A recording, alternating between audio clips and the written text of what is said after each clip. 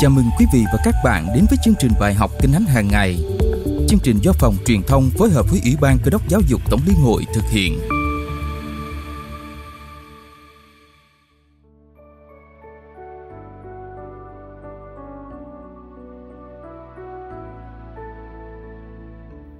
Kính thưa quý vị thính giả, mời quý vị cùng suy ngẫm bài học Kinh Thánh hôm nay để thấy rằng cơ đốc nhân cần phải sống mẫu mực theo tiêu chuẩn của Chúa đừng coi thường giá trị đạo đức để rồi cuối cùng đánh mất sự sống đời đời.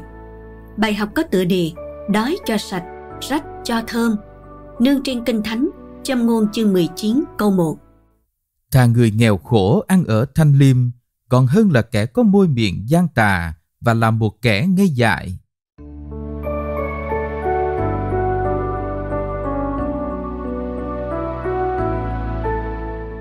Câu hỏi suy ngẫm vua Salomon dạy con lựa chọn thế nào về đời sống vật chất.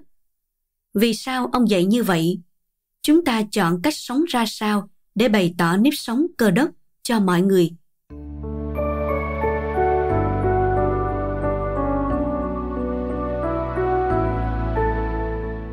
Kính thưa quý vị, sống công chính và giàu có là đời sống lý tưởng. Nhưng nếu phải lựa chọn giữa sống nghèo khó mà trong sạch và sống lừa lọc để giàu có, thì cơ đốc nhân phải chọn lối sống nào? Trong châm ngôn chương 19 câu 1, vua Salomon dạy con hãy chọn nghèo khổ mà ăn ở thanh liêm còn hơn sống bất lương mà giàu có. Thanh liêm có nghĩa là trong sạch, không tham lam. Chọn sống thanh liêm là chọn sống theo tiêu chuẩn lời Chúa dạy. Sống thanh liêm cũng có nghĩa là sống trong sự tiên cậy nơi sự chu cấp của Chúa dù có khi phải chịu nhiều điều thua thiệt, nhưng lời chúa khẳng định, người sống công chính sẽ được chúa ban ơn và gìn giữ. Theo châm ngôn chương 2 câu 7 sống trong niềm tin và giữ mối tương giao với chúa, làm theo lời ngài, chúa sẽ bảo vệ, ban phước. Ngược lại, vì ham lợi, dùng lời gian tà để lừa người khác, hoặc sống gian ác, lòng từ chối chúa, dù có thể thu lợi trước mắt, nhưng sẽ phải chịu hậu quả về sau khi bị phát hiện trong câu 1 phần B và trong châm ngôn chương 10 câu 9. Đôi khi, người sống lừa lọc gian tà qua mặt được luật pháp nên không chịu hình phạt, nhưng cũng sẽ chịu sự đoán phạt đời đời khi đối diện với tòa án của Chúa. Trong cách nhìn thiển cận, nhiều người thấy lừa gạt được người khác, kiếm được nhiều lợi lộc là khôn, nhưng trên thực tế và lâu dài, họ là người dại dột. Ông cha ta qua kinh nghiệm sống cũng đã dạy dỗ con cháu, đói cho sạch, rách cho thơm. Thế nhưng nhiều người do thiếu hiểu biết, kém kinh nghiệm, ham giàu nên đã gánh lấy hậu quả thân bại danh liệt khi sống rời xa tiêu chuẩn của Chúa. Đời sống vật chất đi lên và truyền thông phát triển khiến mọi người càng thấy rõ sự khác biệt giữa giàu và nghèo.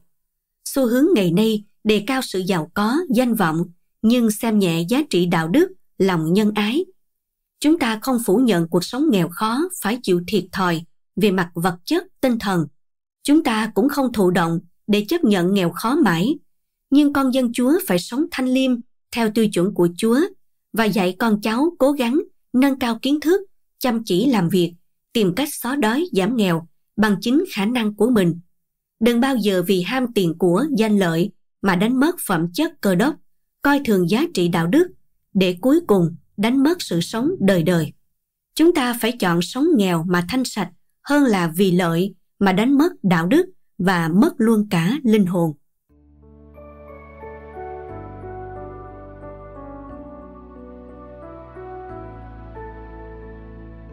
Chúng ta cùng dâng lên Chúa lời cầu nguyện. Lạy Chúa, con tạ ơn Chúa vì trong Chúa con có niềm vui, sự bình an, dù đang sống đầy đủ vật chất hay nghèo thiếu xin Chúa cho con luôn sống theo lời Chúa dạy, bày tỏ niềm tin và vẻ đẹp của Chúa cho mọi người trong mọi hoàn cảnh. Amen. Quý vị thính giả thân mến, chúng ta có cam kết chọn cách sống theo lời Chúa, giữ gìn luật pháp Ngài để vui hưởng phước Chúa ban hơn là lợi lộc trần gian mà bất khiết hay không? Thánh Kinh khuyên bảo nhớ mau, giàu nghèo mà sạch hơn giàu xấu xa, một lòng gìn giữ lời cha mỗi ngày bày tỏ, rao ra ơn ngài Bài học Kinh Thánh hàng ngày hôm nay đến đây là kết thúc. Kính chúc quý vị một ngày mới tràn đầy phước hạnh Chúa ban cho. Hãy học lời Chúa qua chương trình này hàng ngày và giới thiệu cho nhiều người khác cùng tham gia.